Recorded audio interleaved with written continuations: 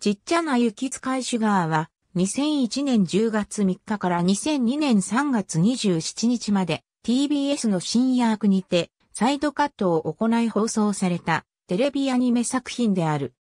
後の2001年12月1日から2002年5月11日まで BSI にてフルサイズの放送も行われている。なお、BSI では2003年8月22日と同年8月29日に特別編も放送された。本作品は TBS 制作シニアアニメとしては非常に珍しいアニメオリジナルで制作されたファンタジー作品であり、その内容は人間の少女と妖精の間に生まれた友情と彼女らの心の成長をパステル調のメルヘンチックな世界において描かれている。2001年12月には全国の TBS 系列のテレビ局でも第1回分のみの特別版が放送され、冒頭に原作者、青井遥からのメッセージが添えられていた。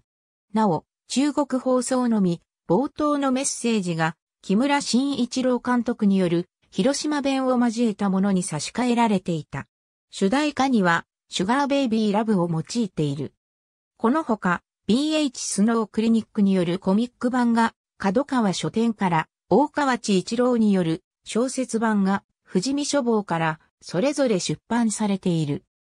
ミューレンブルクのモデルのドイツローテンブルク架空の町、ミューレンブルクに住むサガという人間の少女が妖精の世界から人間界に修行のためにやってきたシュガーという季節使いと出会い、生活を共にしつつ、心の交流を育み、成長していくという物語である。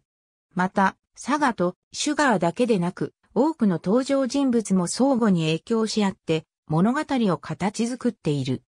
なお、季節使いたちの成長は、きらめきと呼ばれる何かという形をとって象徴的に描かれており、同時にこのきらめきをたくさん見つけることが彼らの修行の目的であるという設定となっている。すべてパイオニア LDC より発売。ブロッコリーより発売。ブロッコリーより発売。ありがとうございます。